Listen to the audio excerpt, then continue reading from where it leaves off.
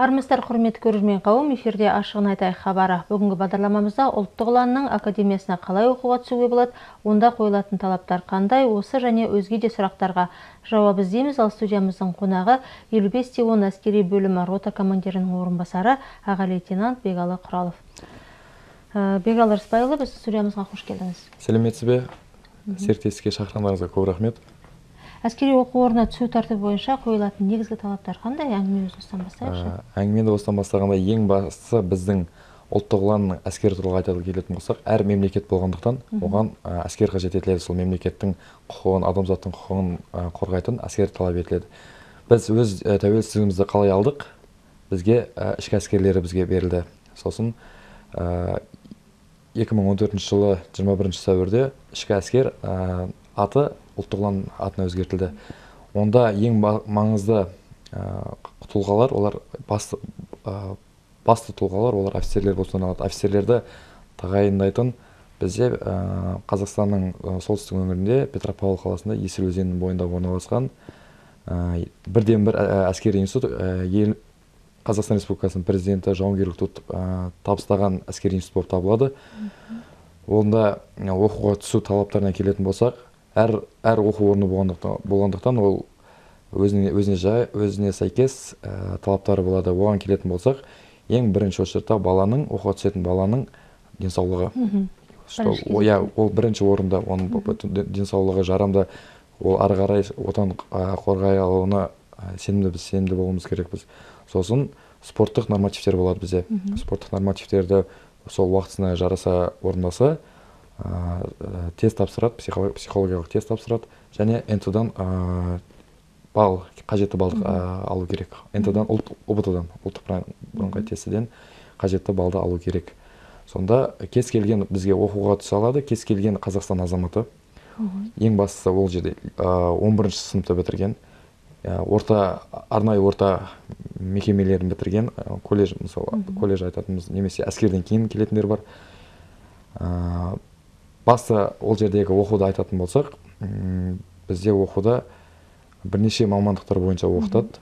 Бірнеше мамандықтарды офицерлерді дайындайды. Біздің ә, мен өзім сол петропавлдағы әскери институтты бітірдім. Қазіргі таңда әскери академия ұлттық ұланның әскери академиясы қазақстанның жиырма қазақстанның түрлі өңірлерінде 26 жыл тарихы бар төрт мыңға жуық офицерлерді тағайындап шығарған. Төрт мыңға жуық. Қазіргі таңда олар сол офицерлер қазақстанның түкпір түкпірлерінде басқа да қалаларында өз қызметтерін атқаруда. Ол жерде оқу туралы айтатын болсақ тағы да ә, шынын айтайық. Ол жерде енді адамды жаңадан тәрбиелеу ол жаңадан тәрбиелену әр адамға оңай емес екенін бәріміз білеміз. Ә, соған айта келе оқу барысы оны адамды тәрбиелеу басын өз, өзіне сай қиындықтары болады. Бірақ ә, нәтижесі ел қорғанышы біздің елімізді қорғаймыз өзіміздің отбасымызды қорғаймыз туған туыстарымызды қорғауға үлесімізді қосамыз деген азаматтар ғана ары қарай қызметтерін жалғастыра алады. Мхм. Сіз жаңа айтып өттіңіз ғой орта арнаулы не болмаса колледжді бітірген ә, жаңағы түлектер оқуға түсе алады деп. А егер ондай арнайы білімдері жоқ мектепті бітірген ғана мысалы иә. Он бірді он бірді бітірген яғни бұл кәдімгі жоғарғы оқу болып саналады азаматтық оқулар секілді ұлттық бірыңғай тест тапсырады. Сонан он бірінші сыныптың түлектері кез келген оқуға тапсыра алады. Үміткер ретінде.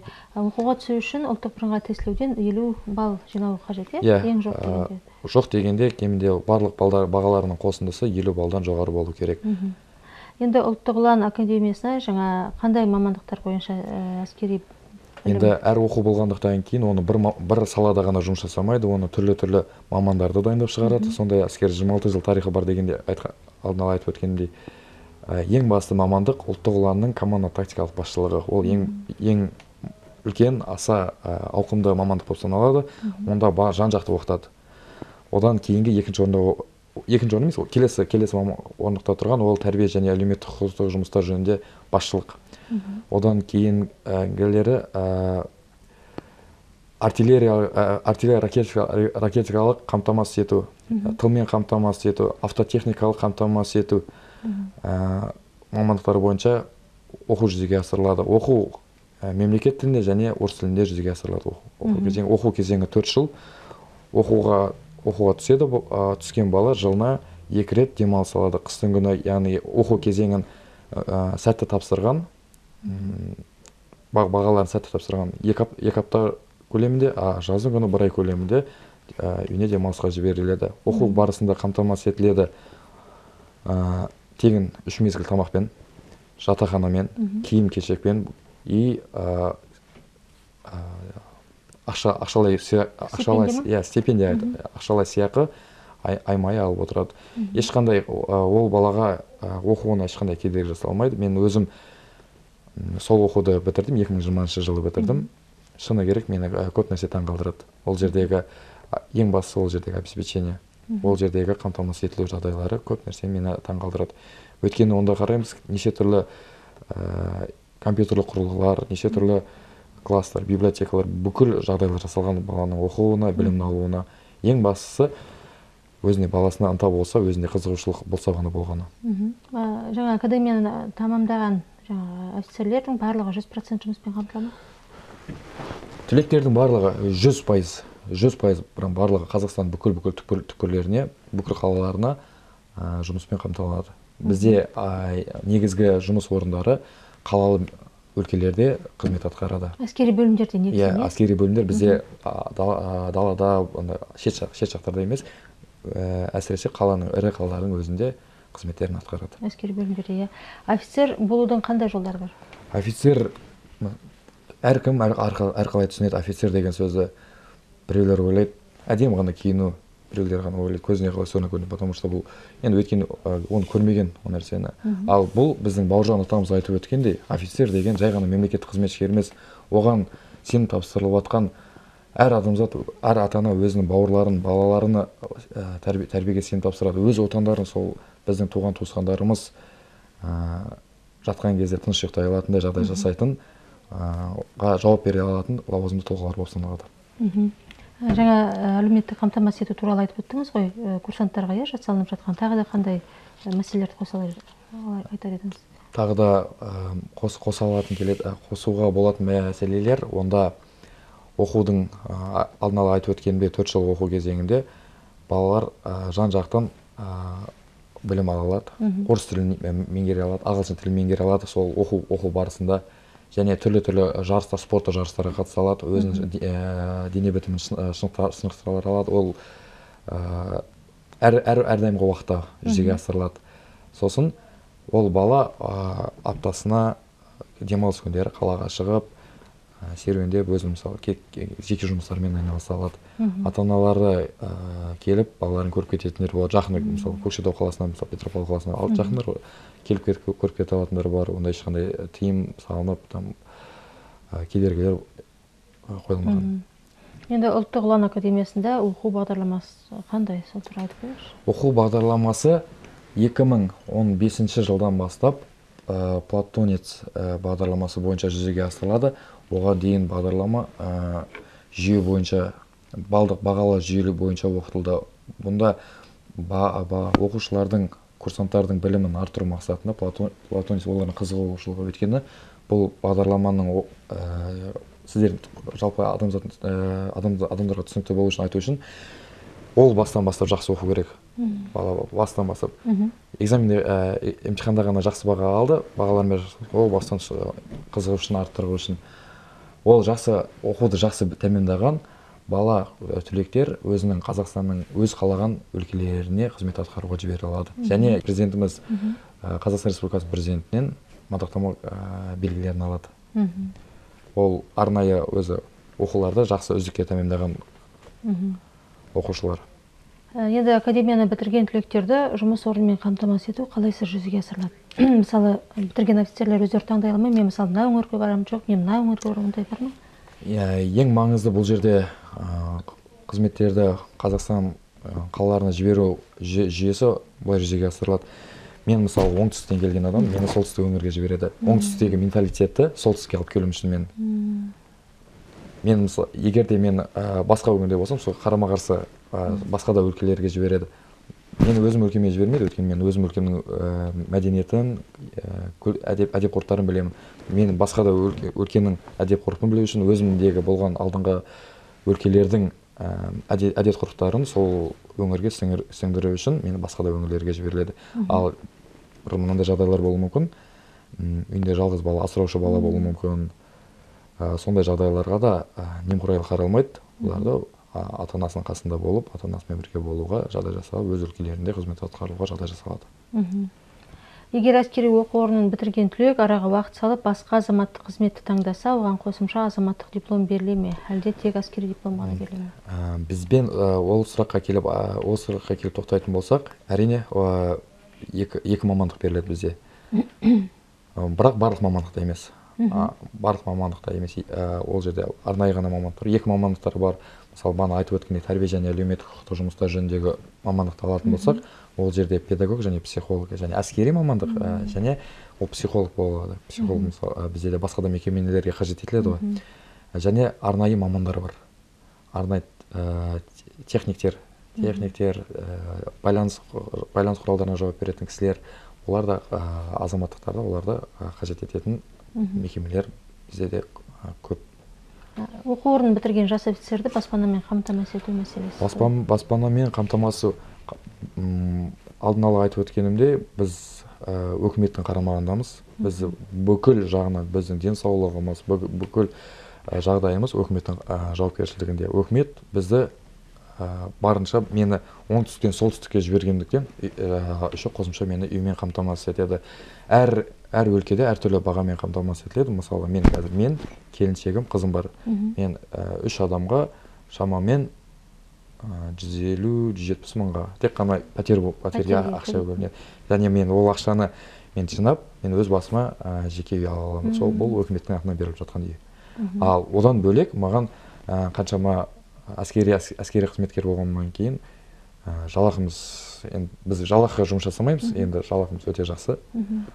Өкі- өкімет тарапынан бізде ә, науқастанып қалатын болсақ та бізде өкімет бізді тастап қоймайды. Бізде ары қарай қызметімізді жалғастырамыз.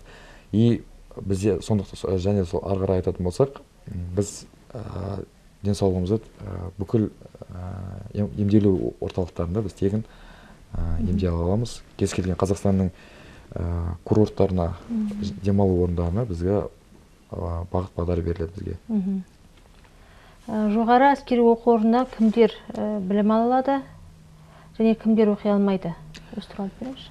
Кімдер оқи алмайды?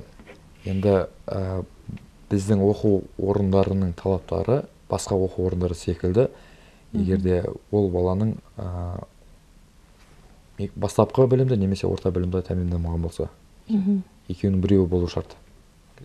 Ол айта келетін ол анығырақ айтатын болсақ он бірінші сыныптың ә, дипломы немесе ә, арнайы ә, кол- арнайы оқу орындарының аяқтады аяқ- аяқтағаны аяқтағаны туралы дипломы қажет етіледі. Ол міндетті түрде денсаулығы жарамды балалар болу керек. Өйткені біз ә, алдын ала айтып біз отан тренішіміз біз отанды ойлаймыз ә, сіздердің ұйқыларыңызды біз өз туған туысқандарымыздың ұйқыларын тыныш ұйықтау үшін еліміздің тыныштығын сақтауға үлесін қосатын ә, бірден бір жағдай ол денсаулығына да жақсы қаралу керек. Ал оқуға кім түсе алады ал түсе алады бұл кез келген адам сол бағанағы айтып өткен ә, денсаулығы жарамды ә, спорттық нормативтер психология тесті тапсырған ә, ұлттық бірыңғай тесттен керекті баллды жинаған бала үміткердің кез келгені оқуға түсе алады. Ә, аталмыш оқу орны немен қызықты? Аталмыш оқу орындары айтатын болсақ ә, оқу ә, оқу төрт жыл кезеңінде жүзеге асырылады. Мен қаншама достар арттырасың ол жерде. Сол достармен неше түрлі қызықтар көресің. Ол жерде қазіргі мен қай, қалаға барсам да мені күтіп алатын достарым бар. Бүкіл қазақстан өлкелерінде менің туған достарым бар менімен бірге оқыған Ә, мен олармен соншалықты қатты жақсы араласамын. Ә, олардың қалай сөзбен жеткізу сө- сөзбен жеткізу қиын. Мен бізді күтіп алады бүкіл қазақстанды мен басқа қалаға қонаққа барсам мен қиналып қалмаймын. Ол ең бірінші ең бірінші орында мен өзіме солай солай түйінеді. Ал басқа да ә, басқа да қызықтарын айтатын болсақ м, оқудың ә, жабдықтары.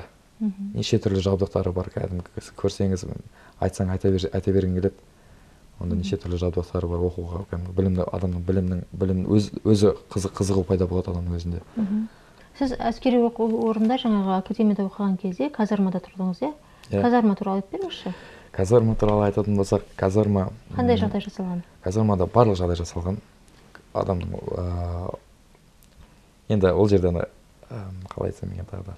Барлық жағдайлар жасалған. Жатын бөлме жуынатын бөлме тамақ ішетін спорт ә, спортпен айналысатын оқумен бөлсе кітапхана барлық нәрселер сол ә, зданиялардың ішінде жүзеге асырылады. Және де ол әскери оқу орны ә, ұлттық ұлан академиясы ә, азаматтық мекемелермен де тығыз байланыста отырады. Кинотеатр ә, театр ә, музейлермен ә, аки- акиматпенен тығыз байланыста отырып бірге жұмыс жасап серіктес болады. Мхм.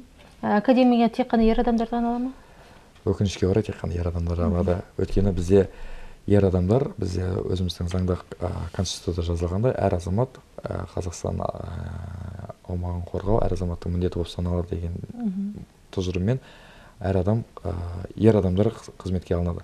Ал бірақ бірақ ә, қыз келіншектердің жоғарғы білімі болса олар офицер шенін алады. Бірақ оқуға Қабылданбайды. оқуға қабылданбайды. Сонда шен алады? шен алу шен алу шен алуы мүмкін. Өзінің жара өзінің мамандығына өзінің бағытына байланысты ә, шен алуы мүмкін. Ал бірақ онда оқу жүзеге асырылмайды. Мхм Ә, елу бесте он әскери бөлімінде қандай жаңалықтар болып жатыр? Елу бесте оны мен өзім шынын айтсам ә, екі ай екі ай болды. Екі ай шамасында болды. Алмасбелі мен петропавл қаласында болдым. Алпыс алтыда отыз жеті әскери бөлімнен елу бесте он әскери бөліміне ә, қызметімді алмастырдым. Қарадым мында ә, ең бірінші менің ыстық болып тиген нәрсе ол мына өлкенің табиғаты табиғаты тіп- тіптен керемет қызмет атқаратын өлке елу бесте он әскери бөлімін айтатын болсақ тоже ұйымшыл қызметтерінің барлығы қызметтері қызмет бір бірлерімен әріптестер бір бір бір бірлерімен ұйымшыл көп нәрсеге іс шаралар жүзеге асырылады. Енді ұлттық ұлан академиясына балаларын оқуға жіберемін деген ата аналарға не болмаса жоғары сынып оқитын ер балаларға қандай ақыл кеңес бересіз? Бұл туралы ақыл кеңес айтатын болсам ата аналар егер балаларыңыздан жоғарғы келешекте отан қорғаушы отан қорғаушыға басшылық ететін оларды басқаратын лауазымды тұлғалар және қызмет атқаруын қазақстанның түкпір түкпіріне қызмет атқаруына жібере аламын дейтін балаларыңыз болса оқу петропавл қаласындағы біздің солтүстік қазақстан өңірінде петропавл қаласында орналасқан әскери ұлттық ұлан әскери институтына әскери академиясына жіберулеріңізге болады. Онда ешқандай қорқынышты нәрсе жоқ. Сабақтың барлығы жақсы үйретеді түрлі түрлі. Даже біз оларға айтатын айта келетін болсақ ә, басқа да мемлекеттермен тығыз байланыста жүзеге асырылады. Ә, ол ең бастысы ә, сіздер ә, балдарыңызға демеу берсеңіздер қолдау берсеңіздер балдарыңызда балдарыңыздан бай- өзіңіз байқасаңыздар болады мінездерінен. Мінездері мінезі бар ә, ә, бас оны отан қорғаушы офицер ретінде көргіңіз келсе сіз оқу ә, петропавл қаласындағы жоғарғы ә, академиясына түсірулеріңізге болады. Бекал рысбайұлы осымен бізге берілген уақыт аяқталды. Біздің студиямызға келіп сұрақтарымызға жауап берген үшін сізге алғысымызды білдіреміз. Еңбегіңіз жана берсін. Сіздерге де көп рахмет. Серіктестікке шақырғандар жұмыстарыңыз алға баса берсін. Қазақстанның менмен деген телеканалдарының бірі бола берлеріңіз бола берлеріңізге тілектеспін. Жұмыстарыңыз алға басып отбасыларыңызға тыныштық бақыт береке тілеймін. Рахмет.